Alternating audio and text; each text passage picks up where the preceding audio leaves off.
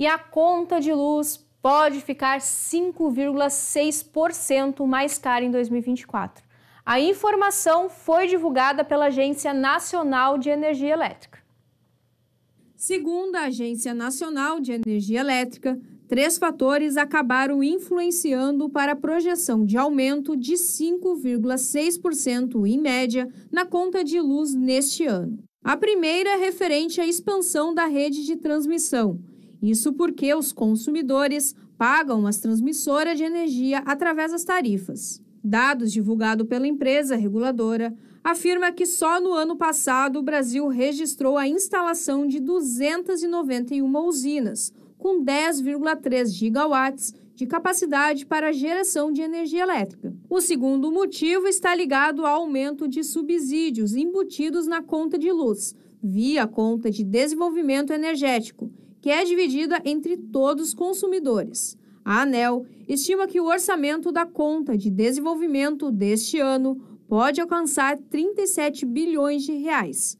Isso representa um aumento de 6,2% em relação a 2023. Já o terceiro fator é o fim da devolução de créditos tributários, vindos da exclusão do imposto sobre circulação de mercadorias e serviços, da base de cálculo do PIS/COFINS.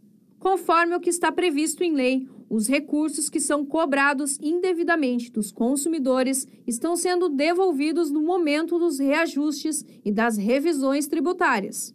Em 2023, as contas de luz subiram em média 5,9%.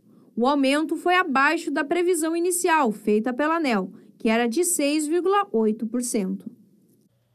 Essa notícia, infelizmente, não veio a calhar muito bem, né? principalmente agora que o estado aqui ainda está com problemas na questão da falta de luz, né? Muitas, os municípios passaram muitos dias aí sem energia elétrica, né? Em função do temporal que foi registrado aqui no estado na terça-feira passada. E aí agora a ANEL acaba divulgando essa informação que possivelmente vai acontecer então um aumento da conta de luz aí nos próximos meses, né? Lembrando que ano passado era previsto um aumento, mas acabou né, não alcançando aquele valor específico. Ele ficou um pouquinho abaixo ali do que era previsto pela, pela agência. A gente torce para que isso aconteça novamente, né? Se caso tiver esse aumento de fato, que deve acontecer nos próximos meses, pelo menos não chega aí ao que está sendo estipulado pela, pela empresa reguladora, né? Ficamos na torcida.